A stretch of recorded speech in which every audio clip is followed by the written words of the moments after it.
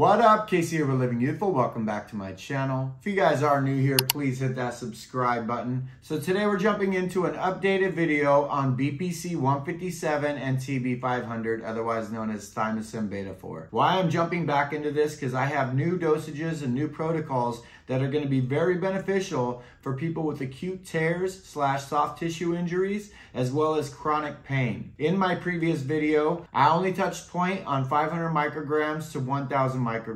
Now finding out people that are going into surgery or people that have major injuries can research 2000 micrograms to really turbocharge the healing process, overall speed it up. We're also going to be going over the peptide calculator so that way you get accurate dosage for maximum results. Let's get into it. Acute tears or soft tissue injuries encompass a variety of conditions that affect the muscles, tendons, ligaments, and other connective tissues.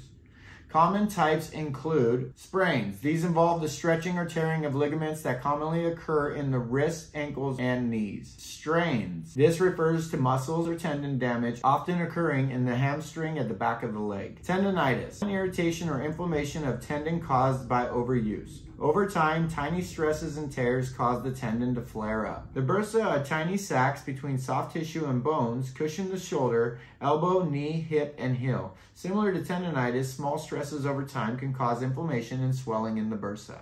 Dislocations. A joint can become dislocated from the body after a fall or other impact.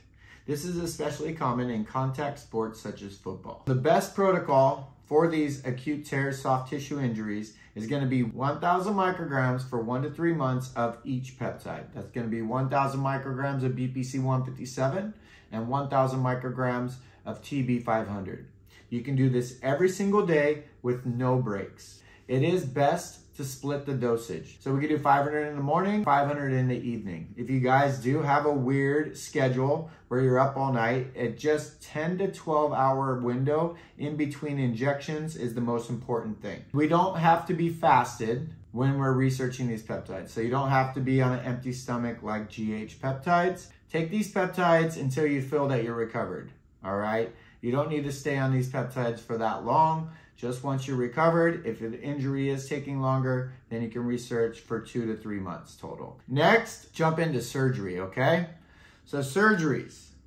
We can start these peptides three to five days before. Sooner the better. Five days is gonna be better than three days. And if we are researching these peptides before our surgery, pre-surgery, we can do one to two milligrams. 1,000 micrograms equals one milligram, 2,000 micrograms equals two milligrams. If you guys are researching two milligrams, I'd recommend doing one milligram in the morning, one milligram in the evening, and that's gonna turbocharge the healing process. And it's gonna be the same post. So for seven to 14 days, you can research one to two milligrams still. Three to five days before and seven to 14 days after staying on one to two milligrams. You're gonna get crazy benefits from that splitting the dosage. If you're doing two milligrams, one milligram in the morning, one milligram in the evening. If you're doing one milligram or 1,000 micrograms, then you can do 500 micrograms in the morning, 500 micrograms in the evening. These peptides are taking longer to heal the injury, then you can stay on at 1,000 micrograms for another two to four weeks and see how the injury heals up or that little bit of wounded tissue that still needs repair. Now, with that being said, let's jump into chronic pain. What is chronic pain? Chronic pain is a long-standing pain that persists beyond the usual recovery period period or occurs along with a chronic health condition such as arthritis. It may be on or off or continuous.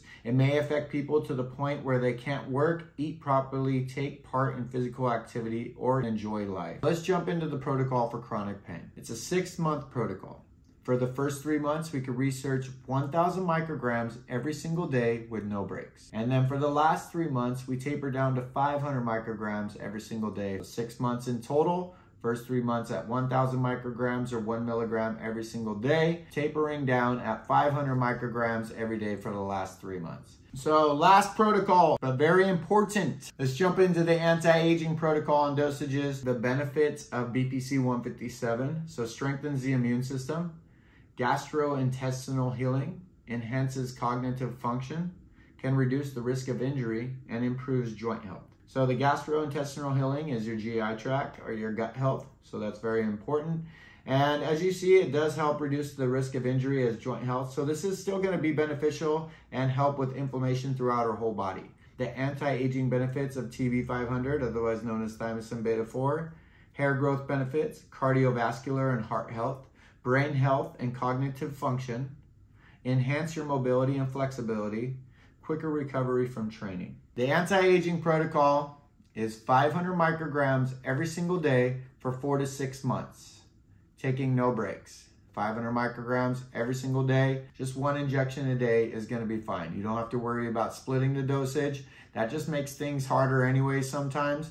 But 500 micrograms and one dosage is going to be very beneficial. I'm finding out after doing extensive research with these peptides, BPC 157 or TB500 do not cause oversaturation like a GH peptide. So we can stay on these peptides longer and not have to worry about that.